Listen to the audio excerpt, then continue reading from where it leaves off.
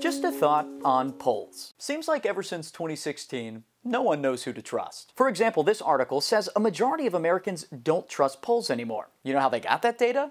A poll. This is all super confusing. So who do we believe? It might be easier to start with who not to believe. Like that meme your uncle posted about Trump being ahead by a mile? Probably not legit. Or that poll from some organization you've never heard of that has Biden leading in all 50 states? Nope. If only there were some sort of expert to tell us what a trustworthy poll looks like. Oh, we have one? Great. Are they showing a margin of error or mentioning that the sample is randomly selected?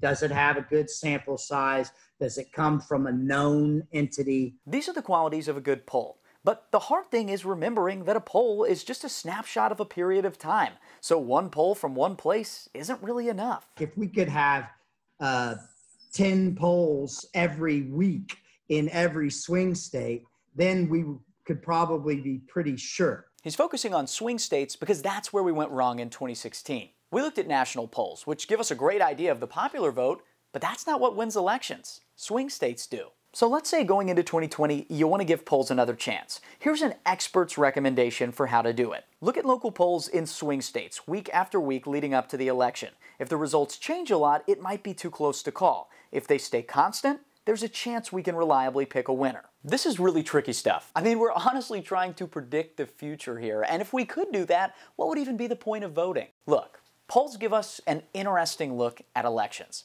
but we, the people, decide the outcome, and that makes your vote that much more important. Just a thought.